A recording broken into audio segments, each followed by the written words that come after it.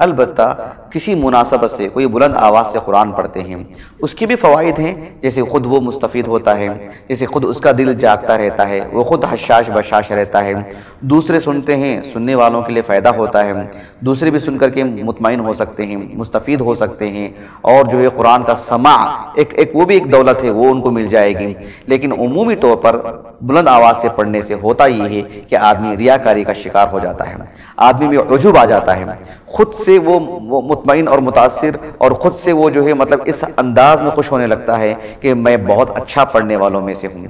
तो इस वजह से अल्लाह के रसूल आलम ने मना नहीं फरमाया लेकिन अफजल ये करार दिया कि छुपा करके जिस तरह से सदका देना अफजल है वैसे ही पस्त आवाज़ से कुरान मजीद की तिलावत करना अफजल है। इस बात का लिहाज किया जाए कि किसी तौर पर भी बुलंद आवाज़ से कुरान मजीद पढ़ना गलत है। ऐसा तो नहीं है, लेकिन अफजल यकीन नहीं है।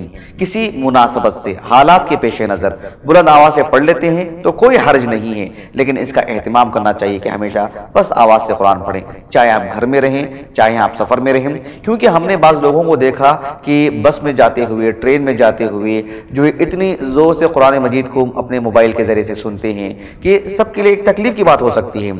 सबके लिए से मुराद ज़रूरी नहीं कि सिर्फ़ गैर मुस्लिम के लिए, किसी मुसलमान के लिए भी तकलीफ़ की बात हो सकती है। तो आप सुनते हैं, आप सुन लें, आप पढ़ते हैं, आप पढ़ लें। किसी मुनासबत से बुलंद आवाज़ से सुनना, सुनाना, ये अलग मामला है। लेकिन अवलियत और अफजलियत को अफजलियत को पेश नज़र रखें। वो ये है कि आवाज़ आपकी पस्त रहे और इसमें इख्फा हो, छुपा करके रखें। यही अल्लाह सुबहान तला को मतलूब है और यकीन अफजल है। और मज़ीद वीडियोस को देखने के लिए आप हमारे YouTube चैनल को सब्सक्राइब करें। फ़जाज़ाकुमुल्लाह खैरन।